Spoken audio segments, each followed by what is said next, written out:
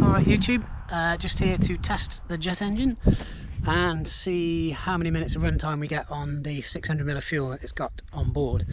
Uh, also got the launch drone, uh, gonna test that. I did some tests yesterday uh, carrying a Funjet, which is that one there, um, which is slightly lighter than the jet um, and it worked, it dropped it, it was fine, but yeah, drone did sound like it was struggling a bit so um, I've actually added some weight to the drone to account for the fact that that jet is heavier than that electric fun jet.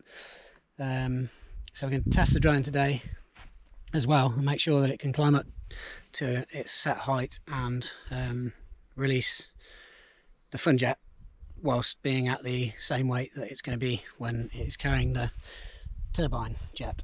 So uh, it's got to be done. I, I, could launch the jet right now. It's all here. I could do it, but um, yeah, I'm, I need to do some other tests first. I'm scared.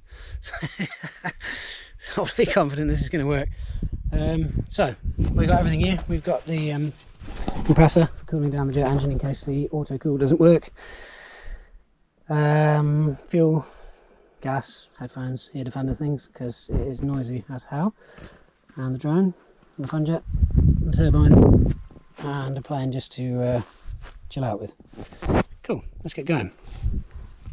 So the plan is I'm going to run it at about half throttle um, and just see how we go from there. It's got a um, current sensor on the fuel pump, so that reads the milliamps of the fuel pump as it's going. So hopefully that's going to correlate to uh, the amount of fuel that the plane's using. Seems to work at home. I only ran it for a couple of minutes, but uh, it registers the, the current and um, yeah, so it should work.